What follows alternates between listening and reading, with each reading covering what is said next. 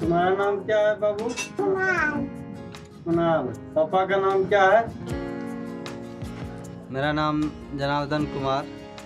मेरे घर में हम रहते हैं, मेरी पत्नी रहती है और मेरी माँ रहती है, तीन लड़की हैं और एक छोटे लड़के हैं।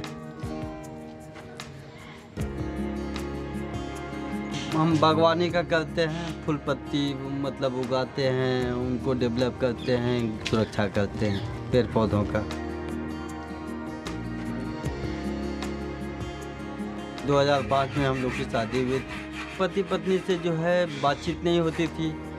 जानते भी मतलब वो भी नहीं बताती थी, वो शर्म के मारे भी नहीं बताती थी कि अभी नया है, हम ये सब क्यों बोले, कैसे बोलें। पहले हम लोग उतना ध्यान नहीं देते थे, उतना जानते भी नहीं थे। पहले बार हम लोग मीटिंग में गए तो हम लोग को ये जानकारियाँ जो मिली सेवा संस्थाएँ से तो दोनों की आँखें खुल गई।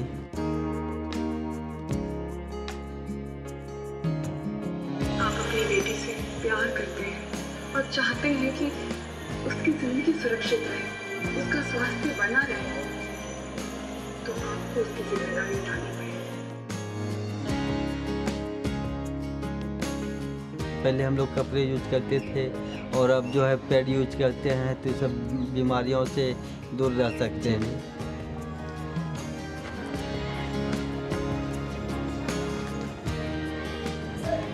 घर में पैड है क्या? तो खत्म हो गया है। बड़ा वाला एक ठो ले आइएगा ये तो छोटा पीस लाइएगा तो दो ठो ले आइएगा। पेपर में लपेट के पॉलीथीन में डाल देते थे पैड को। तो ये चीज़ खुले आम लेके आने भी उस समय सर में लग, मतलब लगती थी। जो एक पैकेट दो पैकेट हमेशा घर में ला के रख देते। हैं